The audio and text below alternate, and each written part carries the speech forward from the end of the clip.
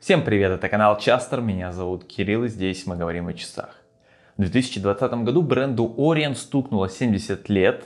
По такому юбилейному случаю компания выпускала сразу несколько интересных линеек, одна из которых дошла и до нас. Эта модель объединяет в себе отсылки и на часы 2005 года, и на модели 70-х, и даже на механические камеры. Собственно, она так и называется The Retro Future Camera. И давайте же посмотрим, получилось ли бессмысленное нагромождение или все-таки гармоничные часы для современного человека.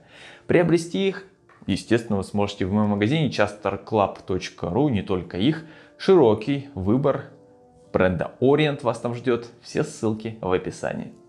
Перед нами вот абсолютно не классический Orient. Все-таки я много повидал представителей этой марки и есть у всех более-менее моделей какие-то отличительные черты, по крайней мере во внешнем строении.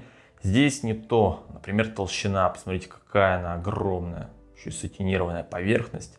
Ушки тоже сатинированные, вот разве что здесь полированная грань вписалась. Кстати, справа, помимо брендированной головки на 3 часа и рифленой, кстати, тоже, есть еще небольшой защитный наплыв, защитный бортик. Он мне напомнил спусковую кнопку на камере. Вот уже первая отсылка. Ну, а безель это и вовсе практически объектив.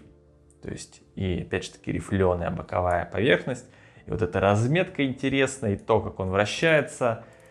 60 кликов, кстати, не 120, хоть и вращается в одну сторону, но оно и понятно, это модель не дайверская, здесь все-таки его непроницаемость 50 метров, поэтому уж не стали все вот эти дайверские истории делать, как, например, светонакопитель в районе 12, но все равно выглядит интересно. И сверху минеральное стекло, слегка скругленное, но, как мы видим, за верх безеля оно не выходит.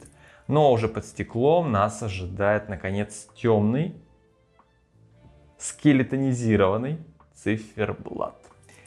Посмотрим поближе. Внешний ободок и поминутная разметка с часовыми индексами, конечно, со светонакопителем. Далее идет небольшое скелетонизирование, через которое мы можем видеть часть механизма. Далее открытый баланс на 9 часов, но это фирменная карточка многих часов Orient, мы его видели много раз. И уже, честно говоря, привыкли к этому. Но сам циферблат, точнее его центральная часть, это уже что-то новенькое. Стрелки, карандаши, секундная смещена на 6, но вот структура циферблата очевидно отсылает на лепестки диафрагмы камеры. Вот такой, знаете, механической старой камеры сейчас. Да, вот, наверное, под этим углом все это можно разглядеть.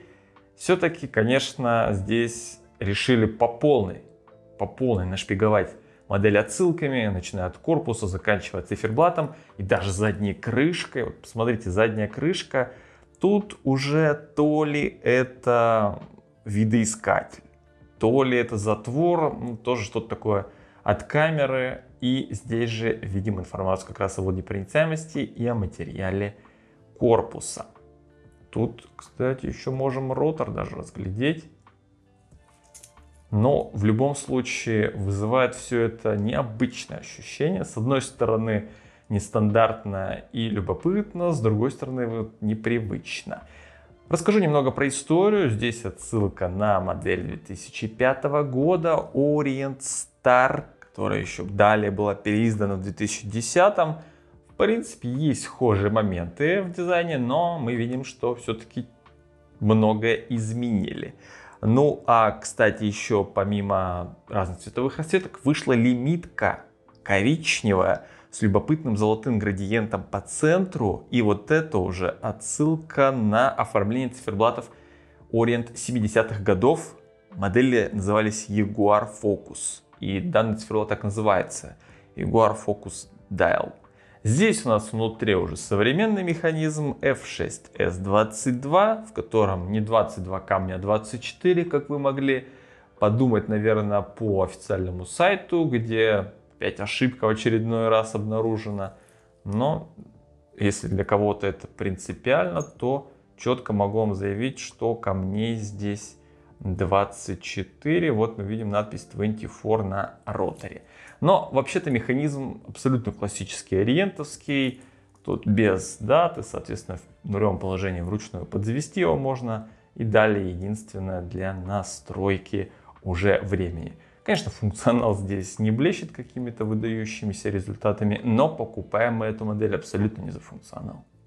Светонакопитель, хоть и индексы небольшие, стрелки тонкие, но читаемость при этом сохраняется отличная под разными углами, что не может не радовать. Особенно в скелетонизированных часах. И вот, кстати, на запястье модель выглядит не так громоздко. Да, толщина приличная, почти 13 мм, но при этом 46 всего уста по краям ушек и диаметр 48. То есть, если у вас среднее запястье, даже небольшое, то, как вы видите, сесть они могут вполне себе ничего. Ну, я думаю, где-то от 16 сантиметров до 20, наверное, вот так будет идеальная посадка.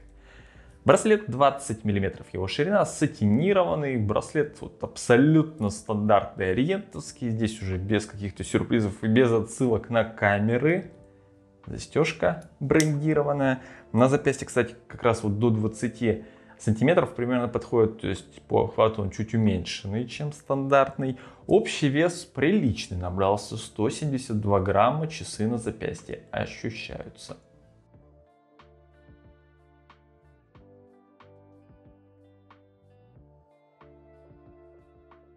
Модель винтажная в первую очередь, то есть такая покупка для души, я считаю. Однако под городскую среду она тоже может подойти. Немного вычурный, пожалуй, дизайн, но при этом читаемый циферблат, как днем, так и ночью. Поэтому, если вы хотите использовать как каждодневную модель, которую с утра надел, вечером снял, то, в принципе, это тоже приемлемо.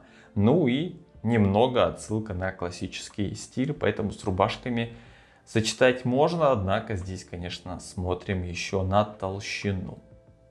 По итогу могу сказать, что модель представляет из себя несколько необычный экземпляр. С одной стороны, это вот такой ориент, который мы привыкли видеть. То есть механизм, то есть светонакопитель, браслет тот же самый. В общем-то, привычная история, которую мы всегда отмечаем. А с другой стороны, внешнее оформление нестандартное, внешнее оформление непривычное, и толщина, и вот этот скелетонизированный, диафрагмированный циферблат и вообще куча отсылок на камеру. Я думаю, что это может понравиться фотографам, любителям винтажных часов, да и в принципе просто вот фанатам ретро-ориент. Не могу сказать, что это все выглядит нагроможденно, но и, честно говоря, не могу сказать, что часы у меня вызвали вау-эффект. Ну, такое среднее впечатление, но однозначно, однозначно они имеют место быть, как вот такая дань уважения истории бренда. Помимо стальной версии есть еще две на кожных ремешках, зеленая и коричневая, поярче, коричневая не та, что лимитка, а просто коричневая. Так что если вы себе хотели что-то такое необычное, несвойственное, из ряда вон выходящее, то это как раз отличный вариант. В конце хотел бы узнать ваше мнение по поводу этой модели. Обязательно оставьте его в комментариях под видео. Если оно понравилось, то поставьте лайк и подпишитесь на канал. На этом все. Всем пока.